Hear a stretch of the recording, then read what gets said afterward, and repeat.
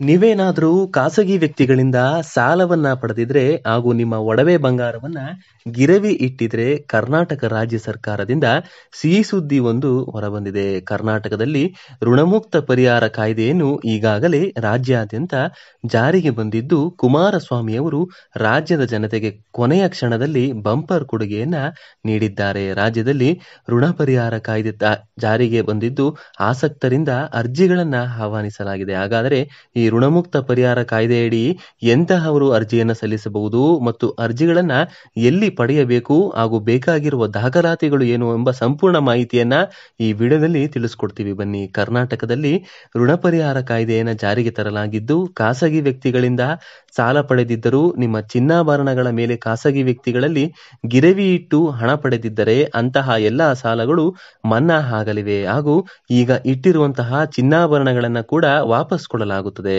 ಈ ಋಣಮುಕ್ತ ಪರಿಹಾರ ಕಾಯ್ದೆ ಎಲ್ಲ ತಾಲೂಕುಗಳಲ್ಲಿ ಉಚಿತವಾಗಿ ಅರ್ಜಿಯನ್ನ ವಿತರಿಸಲಾಗುತ್ತಿದೆ. ತಾಲೂಕಿನ ತಹಶೀಲ್ದಾರರ ಕಚೇರಿಯಲ್ಲಿ ಉಚಿತವಾಗಿ ಅರ್ಜಿಯನ್ನ ನೀಡುತ್ತಿದ್ದಾರೆ.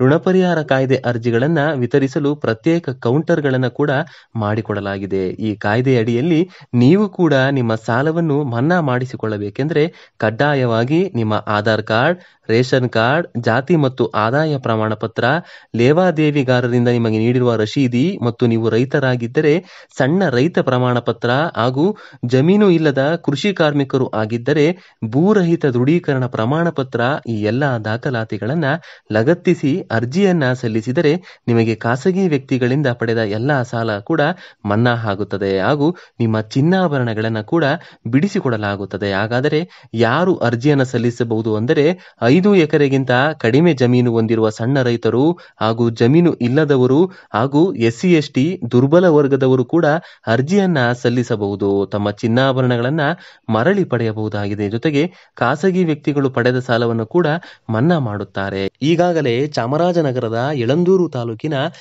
ತಾಲೂಕಿನ ಕಚೇರಿಯಲ್ಲಿ ಅರ್ಜಿಗಳನ್ನು ಕೊಡಲು ಪ್ರಾರಂಭ ಮಾಡಲಾಗಿದೆ. ನೀವು ಕೂಡ ನಿಮ್ಮ ತಾಲೂಕಿನ ಕಚೇರಿಗೆ ಭೇಟಿ ನೀಡಿ ಅರ್ಜಿ ಸಲ್ಲಿಸಿ ಹಾಗೂ ನೀವು ಖಾಸಗಿ ವ್ಯಕ್ತಿಗಳಿಂದ ಪಡೆದ ಸಾಲ ಮತ್ತು ಚಿನ್ನಾಭರಣಗಳನ್ನು ಬಿಡಿಸಿಕೊಳ್ಳಬಹುದಾಗಿದೆ. ಈ ವಿಶೇಷವಾದ ಮಾಹಿತಿ ನಿಮ್ಗೆ ಇಷ್ಟ ಆದರೆ ನಿಮ್ಮ ಫ್ರೆಂಡ್ಸ್ಗೂ ಕೂಡ ಶೇರ್ ಮಾಡಿ, ಯಾರಿಗೆ ಕಷ್ಟ ಅನ್ನೋದಿರುತ್ತೆ ಅಂತಹವರಿಗೆ ಇದು ಬಹಳ ಉಪಯೋಗ ಆಗುತ್ತೆ ಫ್ರೆಂಡ್ಸ್. ಈ ವಿಡಿಯೋ ನಿಮ್ಗೆ ಇಷ್ಟ ಆದರೆ ಈ ವಿಡಿಯೋನ ಲೈಕ್ ಮಾಡಿ, ಶೇರ್ ಮಾಡಿ. ಧನ್ಯವಾದ ಸ್ನೇಹಿತರೆ.